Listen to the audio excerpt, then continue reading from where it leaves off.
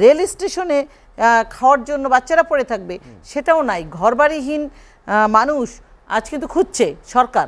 খুঁজে খুঁজে প্রত্যেকটি জায়গা থেকে যারা গৃহহীন তাদেরকে ঘর জননীতি শেখ হাসিনা দিয়ে দিয়েছেন। গৃহহীন খুঁজে পাওয়া যায় না কোথাও।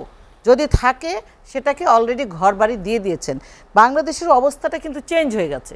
এখন আর ওই পরিস্থিতি নাই যে একটা বাচ্চা খাওয়ার জন্য সে ভাত পায় না বলে বসে আছে। আর এইখানে কি বলেছে? ভাতের কথা কিন্তু বলেনি। মাংসের কথা বলেছে। মাছের কথা বলেছে। বুঝতে পেরেছেন? ভাত চায়নি কিন্তু। উকিল যেটা আলিনাজ মাহমুদ খামিম বললেন যে সরকার অনেকটা অসহনশীল হয়ে যাচ্ছে। আচ্ছা উনিশশো বাহাত্তর থেকে পঁচাত্তর সালে বাহাত্তর থেকে পঁচাত্তর সালে জাতির পিতাকে হত্যা করবার আগের সময়টাতে এইভাবেই কিন্তু এই চক্রটাই এই স্বাধীনতা বিরোধী গোষ্ঠীরাই দেশে অস্থিতিশীল পরিবেশ তৈরি করেছিল, মিথ্যাচার করেছিল, গুজব গোয়েলবসের কায়দায় গুজব ছড়িয়েছিল, নানাবিধ কাহিনী সাজিয়ে, মিথ্যা কাহিনী সাজিয়ে জনগণের দৃষ্টিকে অন্যদিকে ঘোরানোর চেষ্টা করেছিল। যেমনটি খয়ম ভাই বুঝতেই পারলেন না যে উনি বারবার বলছিলেন, একটা শিশু, সেই শিশুটা হয়তো ভুল করে বলেছে তাকে প্রধানমন্ত্রীর দায়িত্ব নিলেই পারতেন। ওই তো মানে নিজের কষ্টের কথাই বলেছে। আসল ঘটনা তো ওই ছেলেটাকে সে বলতে পারে না না ছেলেটাকে সাজানো বলতে পারে না। ছেলেটা তো বলেনি। আপনি বলতে পারেন। না না ছেলেটা তো বলেনি। আপনি মনে ছেলেটার স্টেটমেন্ট দেখেন না স্বাধীনতা দিবসে কত লোক না না খেয়ে থাকে তারা বলতে পারে না এই কত লোক কথাটা না খেয়ে থাকার বিষয়টি এখন আর নাই। এটাও বলতে পারে। কিনা? বলতে পারে কিনা? বলতে পারে না কথাটা এখানে আসে নাই। বলা হচ্ছে যে বাচ্চাটাকে বাচ্চাটাকে দশ টাকা দিয়ে একটা নাট- আমার কথা না বাচ্চাটার কথা বাচ্চাটা স্টেটমেন্ট দিয়েছে। বাচ্চাটাকে ধরে এনে দশ টাকা দিয়ে তাকে ফুল বিক্রেতা ছেলেটা তাকে ধরে এনে তাকে নাটক সাজিয়ে তাকে বলা হয়েছে কথাটা। বলানো হয়েছে কিছুই জানে না। তার বাবা মার সাক্ষাৎকার আপনি হয়তো খেয়াল করেন নাই। বাচ্চাটা কথা বলেছে সেটা খেয়াল করেন নাই। তাহলে বাচ্চাটাকে তো একটা মিথ্যাচার করানো হলো মিথ্যা শেখানো হলো। এটা তো মানে একটা আন্তর্জাতিক অপরাধ। স্বাধীনতা নষ্ট হয়ে গেল? হ্যাঁ এবার স্বাধীনতা কেন নষ্ট হলো? সেটা হলো এই কারণে আপনাদের কাছে বা আপনার কাছে মনে হতে পারে যে স্বাধীনতা জিনিসটা ঠুনকো। এটাকে নিয়ে যা খুশি তাই করা যায়। কিন্তু বাংলাদেশের মানুষ যারা স্বাধীনতা দিবসটিকে সেই তিরিশ লক্ষ শহীদদের স্মরণ করে, দু লক্ষ মা বোনদের স্মরণ করে, সেই দিনটিতে যখন এই একটা বাচ্চা শিশুকে দিয়ে স্বাধীনতাকে জড়িয়ে এই কথাটি বলা হয়, এটা আপনার কাছে খারাপ না লাগলেও বাংলাদেশের মানুষের কাছে কিন্তু এই জিনিসটা ভালো লাগে না। তারা মনে করে এটা স্বাধীনতার উপর সুকৌশলে একটি ষড়যন্ত্র, আঘাত যেটা করেছিল। এটা আপনি প্রথম আলোর যে সাংবাদিক এই কাজটি করালো একটা শিশুকে ব্যবহার করে চাইল্ড এক্সপ্লয়টেশন বা একটা আন্তর্জাতিক আইনের যে ভায়োলেশন সেটা এক নম্বরে করল, দ্বিতীয় হচ্ছে মহান স্বাধীনতাকে আঘাত করল, তৃতীয়ত হলো দেশ বিরোধী একটি ষড়যন্ত্র করল।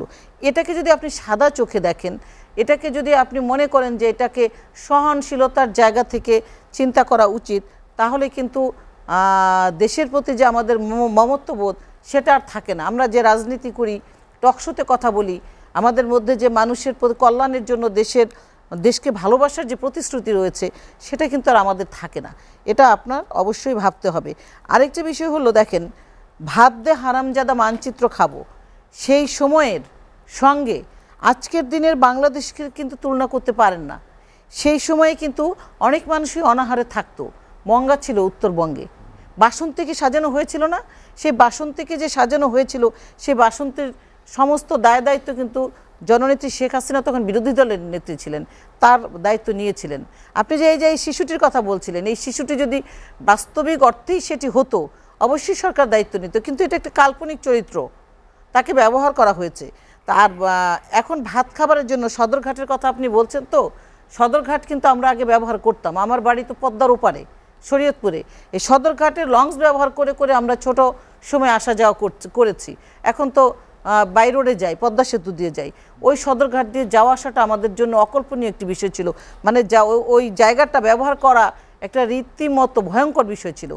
সেই সদরঘাটে যদি এখন আপনি যান একটা লাইটিং করা একটা সুন্দর একটি জায়গা যেখানে গেলে আপনার ভালো লাগবে। সেখানে আপনি ভাত ভাত খাওয়া ভাত খায়নি ভাত খায়নি ভিক্ষুক শিশু।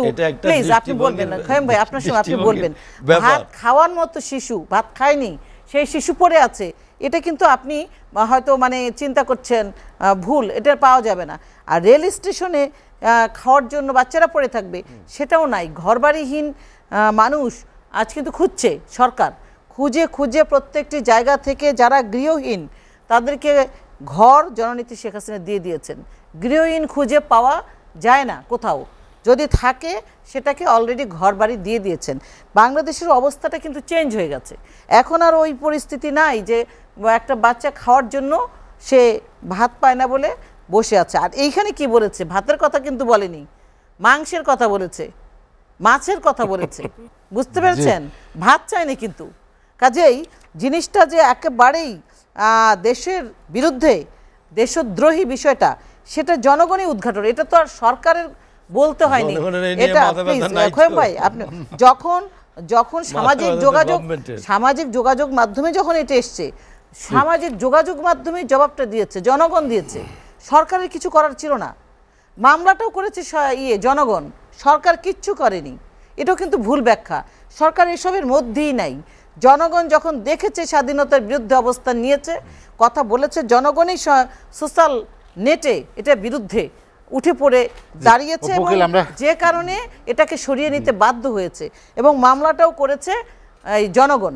আচ্ছা আরেকটা বিষয় বলছি। আপনার আমাদের মাননীয় নেতা ওবায়দুল কাদের গণতন্ত্রের কথা যেটা বলেছেন বা বলছেন সেটা অবশ্যই সেই গণতন্ত্র যেই গণতন্ত্র হচ্ছে জাতির জনকের আহ্বানে জাতির জনকের আহ্বানে এই যে তিরিশ লক্ষ শহীদানরা যেই চেতনাকে ধারণ করে একেবারে জীবনটাকে বিলিয়ে দিয়েছিলেন দেশের জন্য সেই চেতনার জায়গাটা থেকে এই দেশ বিনির্মাণের যে স্বপ্ন বা করে যাচ্ছেন সেটাই সেই গণতন্ত্রটাই আমরা ধারণ করি বাংলাদেশের মানুষ চায় সেটাই আমাদের নেতা ওবায়দুল কাদের বলেছেন। এটাকে আপনি কোন ব্যাখ্যা দিতে চাই উনি বলেছেন যে সেই জঙ্গিবাদ মানুষ হত্যা হাওয়া ভবন খুন গুম যেটা হয়েছে সে অগ্নিসন্ত্রাস সেই গণতন্ত্রটা মানুষ চায় না।